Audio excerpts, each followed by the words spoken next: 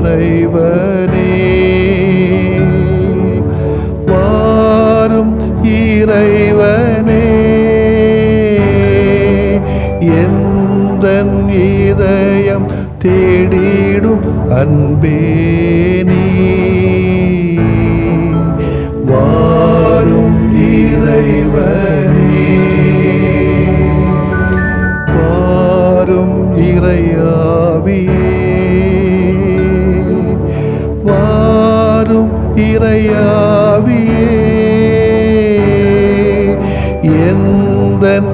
இதயம் தேடிடும் அன்பே நீ.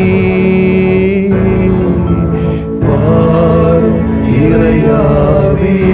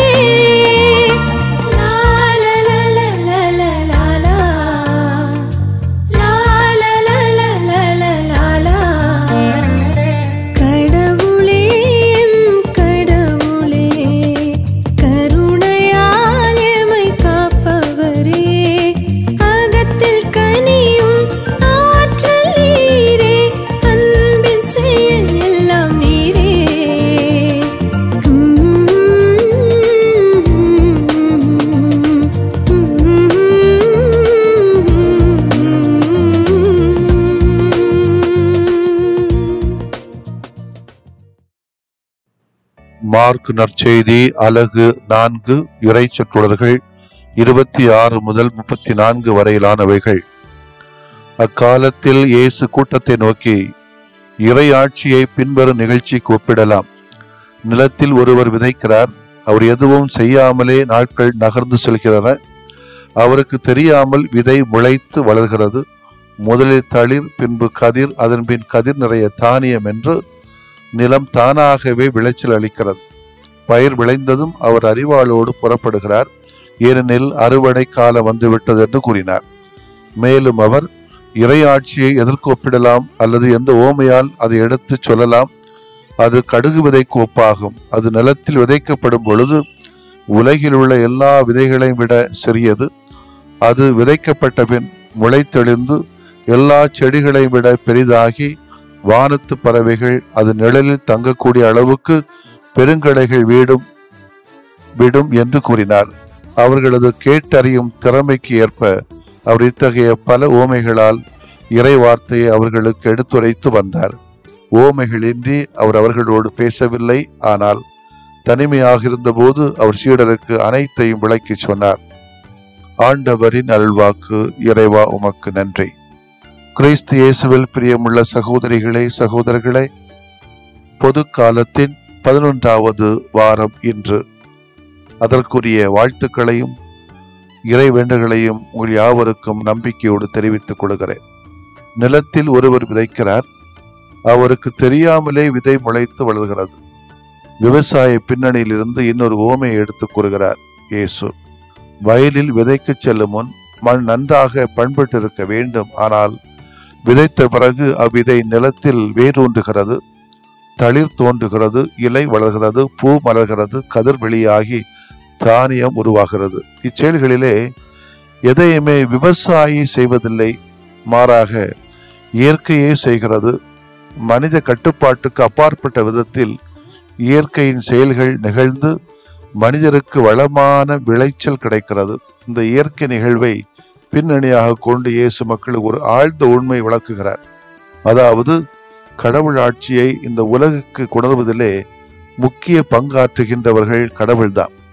மனிதர் தம் சொந்த முயற்சியால் கடவுளின் துணையின்றி கடவுள் ஆட்சியை மலரச் செய்ய இயலாது. இதனால் கடவுள் ஆட்சியை மலரச் செய்வதில் மனிதருக்கு பங்கே இல்லை என்று நாம் தவறாக முடிவு கட்டு விடலாகாது. கடவுளோடு இணைந்து மனிதர் உழைக்கின்ற போது கடவுள் ஆட்சி அங்கே மலர்கின்றது. அப்போது கடவுளின் விருப்பத்திற்கு ஏற்ற வாழ்க்கை முறை மனிதருக்கு இயல்பான ஒன்றாக மாறும். அதுவே இறை ஆட்சியின் வளர்ச்சி. அத்தகைய ஆட்சியை கொணர்வதுதான் தம் பணி என்று இயேசு முழங்கினார். அவரோடு இணைந்து மனிதர் செயல்படும் போது அவருடைய இறையாட்சி பணி விரிவடையும். மனித சமுதாயம் கடவுள் விரும்பும் சமுதாயமாக கடவுளின் ஆட்சி நிலவும் குழுமமாக மாறும். இத்தகைய புதிய சமுதாயம் இங்கே தொடங்கிவிட்டது என்றாலும் அது நிறைவு இறுதி காலத்தை சார்ந்தது என இயேசு நமக்கு அறிவுறுத்துகிறார். இரண்டாவதாக கடுகு விதை பற்றி பேசுகிறார். கடுகு விதை சிறிய வகை இது. ஆனால் பாலஸ்தீனத்திலே கடுகு செடி நடுத்தர மரம் போலவே வளரும் தன்மையுடையது. இதை இயேசு பின்னணியாக கொண்டு இறையாட்சி பற்றி விளக்குகிறார். இறையாட்சியின் தொடக்கம் சிறிதாக இருக்கலாம். ஆனால் அதன் வளர்ச்சியோ மிக பெரிதாக இருக்கும். தமிழ் இலக்கிய பாணியில் கூறுவதாக இருந்தால் கடுகை விட சிறிய ஆல விதை நிலத்தில் விழுந்து வளர்ந்து ஓங்கும் போது வானலாப எழுந்து பறந்து விரிந்து எண்ணிறைந்த படை வீரர்களுக்கு நில நிழல் அளித்து காப்பதை காட்டலாம். சிறிய தொடக்கம் என்றாலும் எதிர்பார்ப்புள்ள எஞ்சிய அல்லது மிஞ்சிய அல்லது விஞ்சிய வளர்ச்சியை பெற்று உயர்வது கடவுளின் ஆட்சி. இதிலிருந்து இயேசு பாடங்களை புகட்டுகிறார். முதலில் கடவுளின் தொடக்கம் அல்லது கடவுள் ஆட்சியின் தொடக்கம் சிறிதாக இருக்கிறது என நாம் நம்பிக்கை இழத்தலாகாது. ஏனென்றால் கடவுள் திட்டத்தில் அவரது ஆட்சி ஒரு நாள் மனிதர் அனைவரையும் உள்ளடக்குகின்ற பரந்த ஆட்சியாக மலர்ந்து விரியும். எனவே நம்பிக்கையோடு காத்திருக்க வேண்டும். காத்திருந்து நம்பிக்கையில் ஊன்ற வேண்டும். தொடர்ந்து கடவுள் ஆட்சி பணியை நாம் செய்து கொண்டே இருக்க வேண்டும் என்பதை நமக்கு அறிவுறுத்துகிறார்.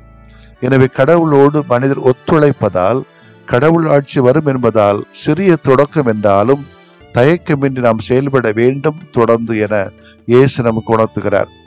மரம் போல வளர்கின்ற கடுகு செடியில் பறவைகள் வந்து தங்கும் என இயேசு கூறுவது கடவுள் ஆட்சியில் யாவருக்கும் இடம் உண்டு என்பதை காட்டுகிறது.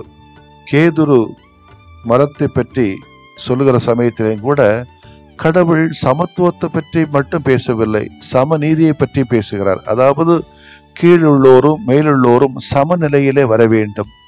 அதற்கு ஏழைகளை அல்லது இல்லாத மக்கள் இந்த உலகத்தில் நிறைய பேர் இருக்கிறார்கள். அவர்கள் மீது தனி கரிசனை காட்டுகிற கடவுளாகத்தான் இந்த இறை வார்த்தையிலே நாம் பார்க்கிறோம். எனவே அன்புக்குரிய சகோதரிகள் சகோதரர்களே கடவுள் தொடங்குகிற இந்த பணியிலே மனிதர்களாகிய நாம் ஒத்துழைப்பு கொடுக்கின்ற பொழுது இணைந்து போகின்ற பொழுது கடவுள் விரும்புகிற அந்த கடவுள் ஆட்சி எல்லா மக்கள் மத்தியிலும் வந்து சேரும். அதை நாம் வாழ்வாக்குவோம்.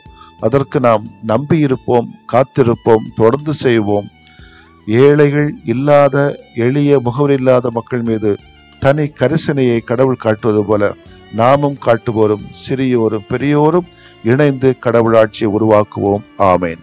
மன்றாடுவோமாக இறைவா சிறிய அளவு என்றாலும் நாங்கள் உம்மோடு இணைந்து பெரிய மனதோடு செயல்பட எங்களுக்கு அருள் தாரும் ஆமேன். விரும்புகிறேன் நீயும் குணமாகு. அஞ்சாதே நான் என்றும் உன்னோடு. விரும்புகிறேன் நீயும் குணமாகு. அஞ்சாதே நான் என்றும் உன்னோடு.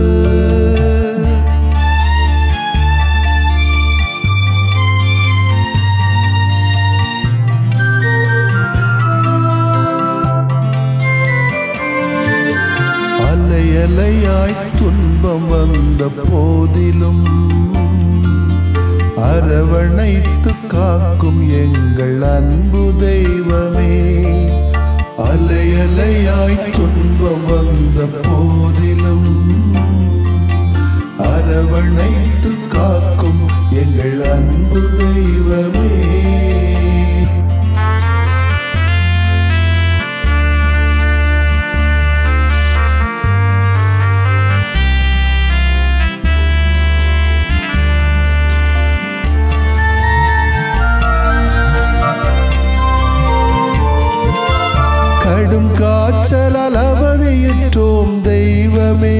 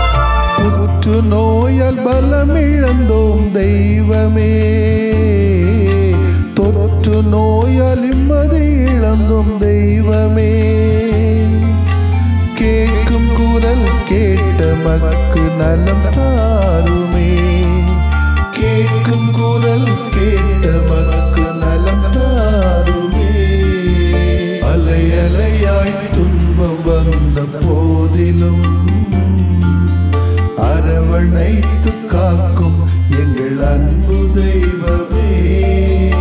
அலையலையாய் துன்பம் வந்த போதிலும் அரவணைத்து காக்கும் எங்கள் அன்பு தெய்வமே.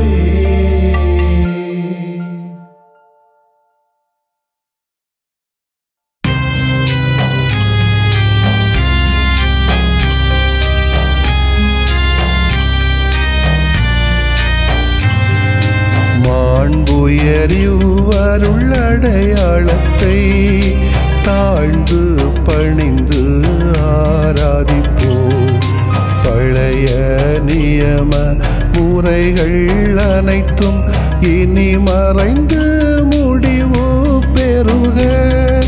புதிய நியம முறைகள் வருக.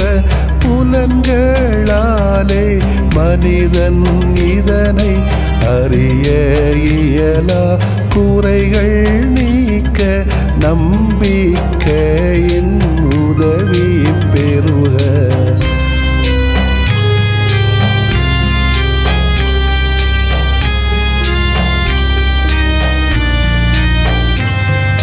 தந்தை அவர்க்கும் மகன் அவர்க்கும் புகழ்ச்சியோடு வெற்றியாக்கும் மீட்பின் பெருமை மாட்சிமையோடு வலிமை வாழ்த்து யாவுமாக.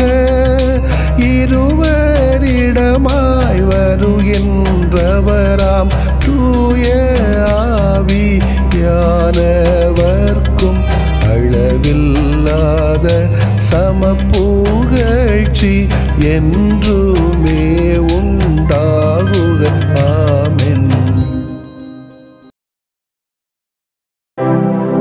வானில் நின்று அவர்களுக்கு அப்பமளித்தீரே. இனிமையெல்லாம் தன்னகத்தில் கொண்ட அப்பம் இதுவே மன்றாடுவோமாக. இறைவா இந்த வியப்புக்குரிய அருளடையாளத்திலே உம்முடைய பாடுகளின் நினைவை எங்களுக்கு விட்டு சென்றீ உமது திருவுடல் திருரத்தமாகியவற்றின் தூய மறைபொருளை வணங்கும் நாங்கள். உமது மீட்பின் பயனை இடைவிடாமல் துய்த்து உணர்ந்து மகிழ அருள்வீராக தந்தையாக இறைவனோடு தூய ஆவியாரி ஒன்றிப்பில் இறைவனாய் என்றென்றும் வாழ்ந்து ஆட்சி செய்த உம்மை மன்றாடுகின்றோ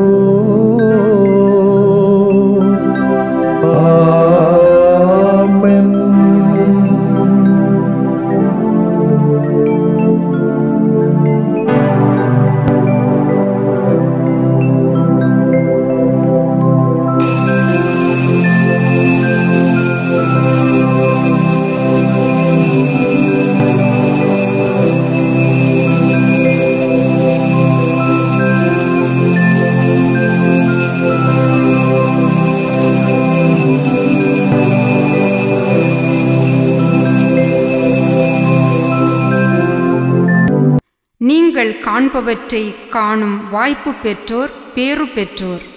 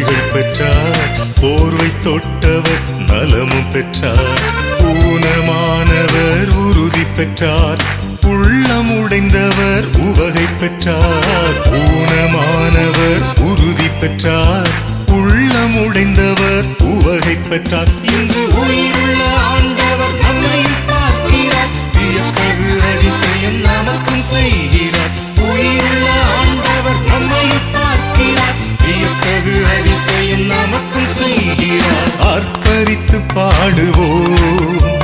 அகமகிழ்ந்து வாழ்த்துவோம்.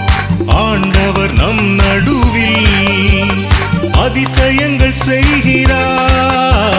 ஆர்ப்பரித்து பாடுவோம். அகமகிழ்ந்து வாழ்த்துவோம். ஆண்டவர் நம் நடுவில் அதிசயங்கள் செய்கிறார்.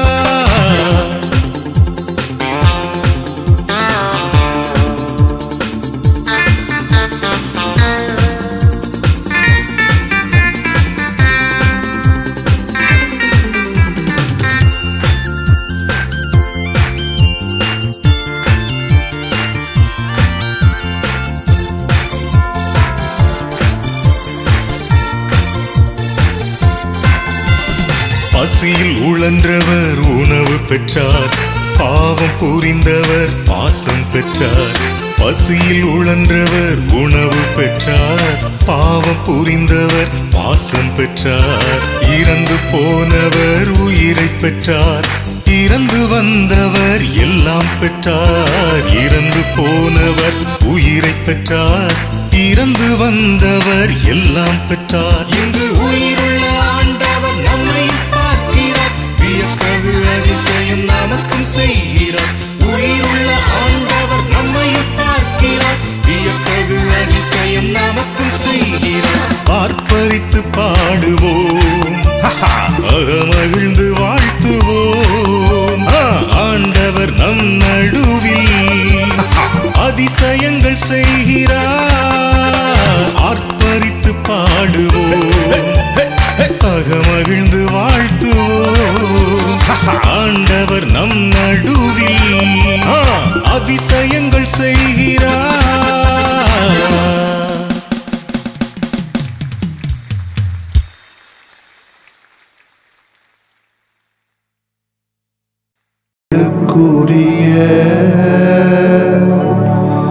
தூய இறை நன்மைக்கு.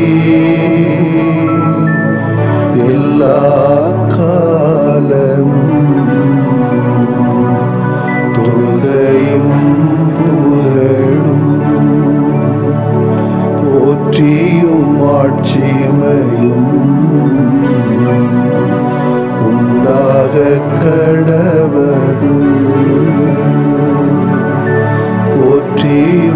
ஆட்சிமையும் உண்டாக கடவது தந்தை மகன் தூயாவியாரின் பெயராலே ஆமேன்.